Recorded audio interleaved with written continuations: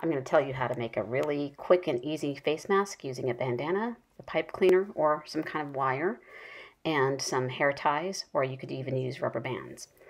Okay, so the first thing you want to do is spread out your bandana. Make a great big um, square, but turn it so it's more like a big diamond shape. And then you're going to take your pipe cleaner and you're going to put the pipe cleaner right in the middle of the bandana. Um, probably want to actually make that pipe cleaner nice and straight. It could be a wire again. And then you're going to fold it over so that the top fold is right there where that pipe cleaner is and you've got a big triangle. And just kind of straighten it out, smooth it out. You've got the pipe cleaner right there at the top. Nice, you can feel it in there.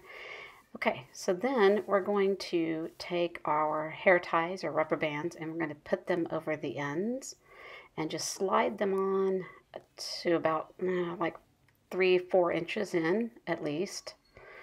And do that um, on both sides. You're going to take your hair tie, put it over each side. So you have two little uh, three to four inch tails on either side, and then a nice uh, maybe four to six inches in the middle. Um, then fold those in.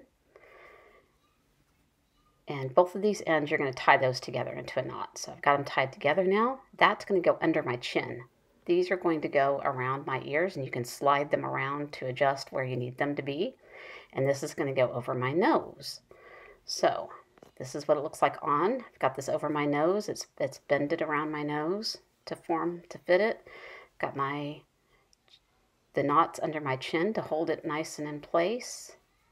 And it fits nice and kind of tightly around my face and my hair ties are over my ears. That's it.